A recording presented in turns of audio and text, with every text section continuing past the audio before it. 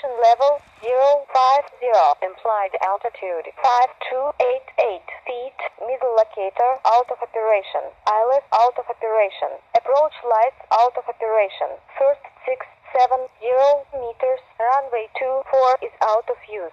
Runway active length 24180 meters. Bird strike hazard in takeoff and landing zone. Wind 010 degrees 4 meters per second. Visibility 10 kilometers.